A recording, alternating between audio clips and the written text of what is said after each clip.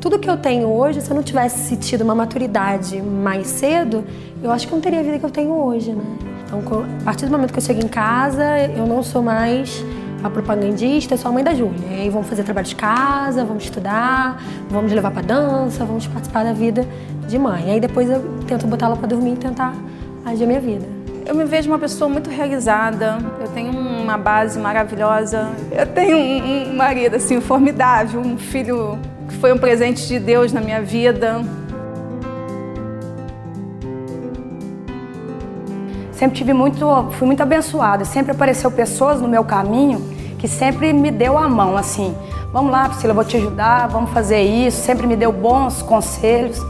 E assim, igual eu te falei, eu nunca ganhei nada. Eu tive que conquistar tudo na vida, mas eu tive bons, boas pessoas que me influenciaram nisso, entendeu? Uma batalhadora, guerreira, que se desdobra tanto no profissional como mãe.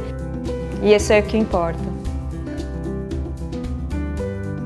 Ah, eu tiraria mais tempo para mim. Para ficar no spa, fazer massagem, para descansar, para ter mais tempo de ir no salão fazer a unha. Tenho uma filha de 9 anos. Eu queria ficar um pouquinho mais em casa, eu queria ficar um pouco mais com você. Ah, eu me sinto, meu coração fica muito apertado. Que a gente sempre pode dar um pouco mais de si, eu acho que a gente sempre pode ir um pouco mais além, eu acho que a gente sempre pode fazer o melhor, né? E eu me cobro muito por isso. Acho que é um amadurecimento. Acho que depois dos 30 a gente amadurece gente começa a ver a vida diferente. Quando estou naquele nervoso, as pessoas procuram se isolar, fazer outro tipo de coisa, eu danço. Que acho que é minha professora mais na dança há um tempo. Que hoje eu sou muito mudada. Acho que quem me conhecia antes de entrar viu que eu mudei bastante. Feliz, realizada com a minha família, meu trabalho, minha vida completa. Tudo que eu sempre sonhei. eu falaria para ela continuar sonhadora, porque os sonhos dela se realizaram. E continuar sendo uma pessoa amiga, sendo uma pessoa que dá valor aos relacionamentos, à família e principalmente a Deus, porque isso não mudou. Que o tempo é o melhor conselheiro.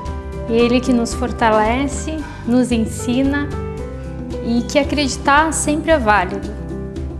As dificuldades a gente supera, mas que tem que acreditar, não deixar de acreditar nunca.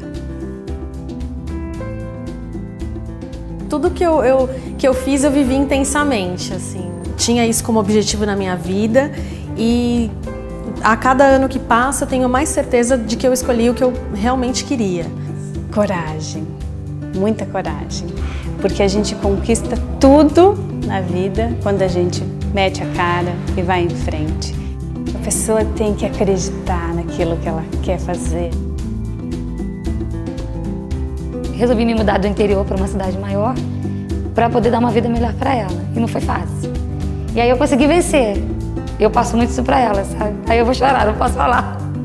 Eu acredito muito que quando a gente tem um sonho, é, a gente consegue forças para lutar e batalhar e conseguir realizar esse sonho.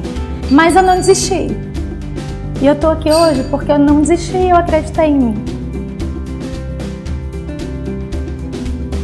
Ainda tem muito pela frente, ainda tem muitas ambições, muitas, muitas realizações. Mas eu acho que eu me encontro num momento muito, muito tranquilo, muito feliz e muito estável assim da minha vida. É, eu me dedico muito à minha filha, muito.